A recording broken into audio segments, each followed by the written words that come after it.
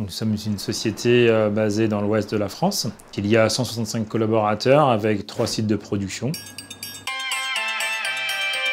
Nous sommes spécialistes et leaders français dans la machine d'emballage. Nos clients sont principalement tous les gros acteurs de l'agroalimentaire.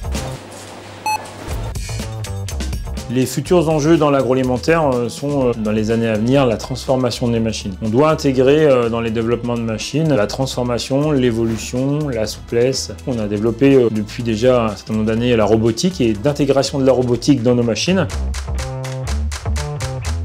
La solution de Schneider Electric, euh, Drive 3 et EcoStructure nous apporte euh, tout le bénéfice du côté modulaire. Aujourd'hui, c'est le même logiciel qui nous permet de répondre sur les petites machines ou les grosses machines. On peut, avec le même outil, répondre sur l'ensemble de la gamme des machines MGTech.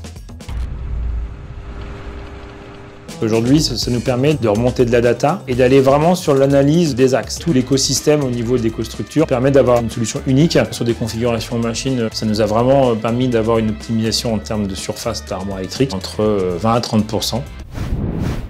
on aimerait pour l'avenir euh, des solutions toujours innovantes, bien sûr, et d'avoir de la réponse via les technologies Schneider.